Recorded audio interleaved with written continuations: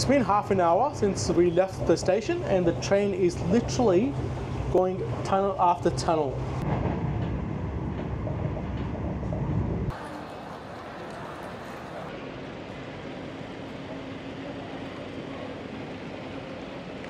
It's all happening.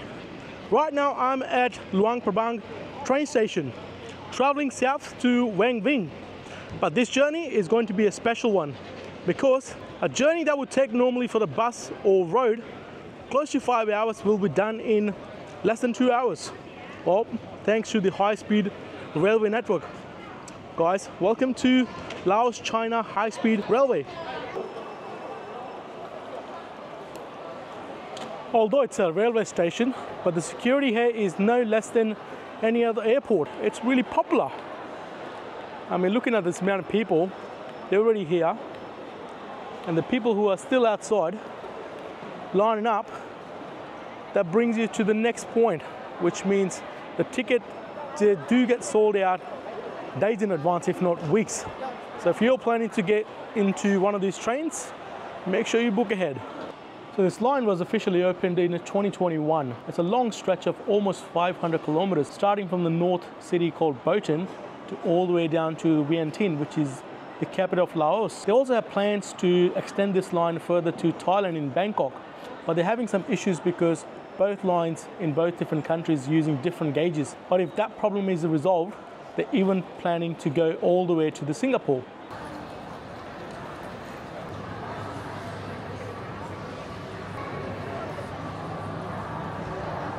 When I initially mentioned it's popular, well, I wasn't joking. Have a look. So the train has arrived and uh, it's about to depart in next 15 minutes. It's almost one o'clock, so no one's allowed to get on the platform until they're actually boarding the plane, or the plane, the train. It's a quite a bit of a train, so I'm on a coach six, which goes further up this way. It ended up costing them six billion dollars. Well, majority of that was borrowed from the Import-Export Bank of China, which was close to 60, 70%, and the rest collaborative from the Laos government and some private Chinese companies. Again, they're holding the majority of the stake. So some calling this, you know, an impressive achievement from Laos in terms of evolution and technology, where others are questioning maybe it's a ticket to become bankrupt. My first ever high-speed rail. Coach 6, miss. Coach 6. This one here. Right, continue. 8DDD, please be on the window. All right. Well, unfortunately, I don't have a window seat.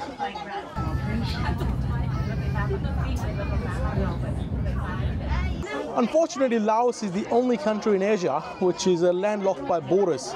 It's got five countries surrounding it. On the north you have China, on east you have Vietnam, Cambodia on the south, and Thailand and Myanmar to the west, which makes it really difficult when it comes to commuting and freight transfer. To make matter worse, it's surrounded by mountains. I mean, the whole country is nothing but mountains, which isn't the best or ideal situation in terms of moving things around. However, this train line appears to be some sort of lifeline because the journey that would take normally days can now be done in hours. From the north to south, this high-speed rail can finish everything in two and a half, three hours. That is impressive.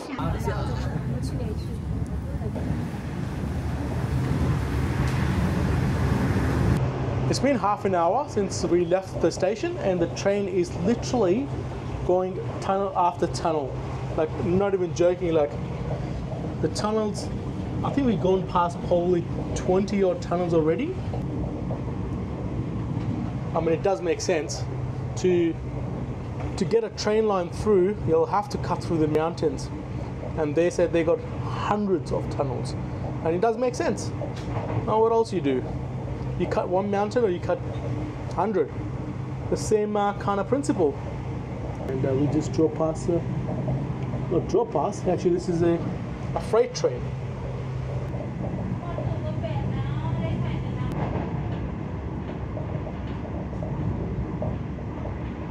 there has been a controversy saying uh, when the government built this train and there were a lot of villages that were removed because they were on the line at the time and they haven't been compensated yet to bring such a high-end technology which is literally a money machine when you talk about the tickets and how far they sell out in advance and these poor villages if they haven't been compensated yet it's, uh, it's very sad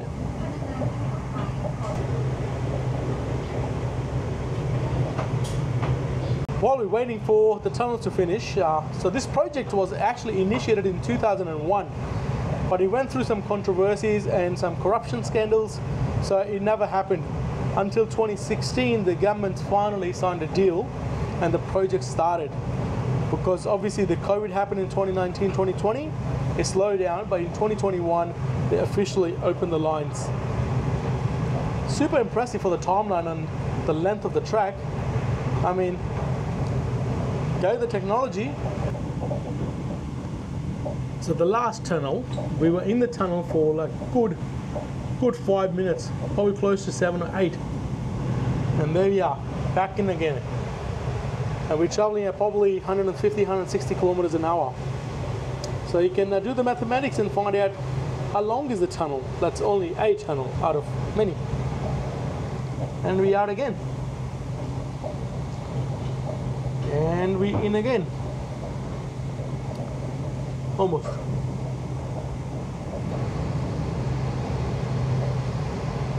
and that's the whole journey in and out of tunnels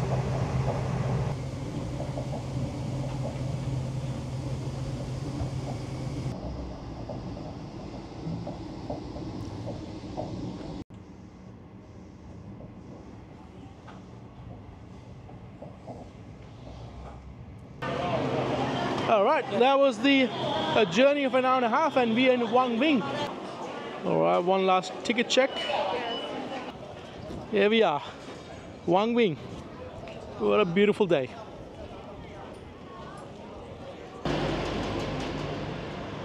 All right, arrived at the hotel.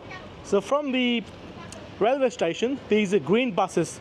Look for those uh, there's heaps of tuk-tuks around as well and heaps of those uh, Toyota Hiace, you know, those kind of vans, 10-seater, 12-seaters. But if you just want uh, just by yourself, uh, look for the green bus. Uh, they're usually parked in the back, but sometimes they do pull into the front as well. Uh, cheapest and probably the quickest way. Only 10 minutes, 15 minutes from the train station, and the town isn't the biggest town. And just tell the driver where you're gonna get dropped off, and I pay 30,000 kip one way. Not too bad. Anyway, there'll be more videos coming up. I hope you guys enjoyed the bullet train. I certainly did. So I hope to see you in those videos.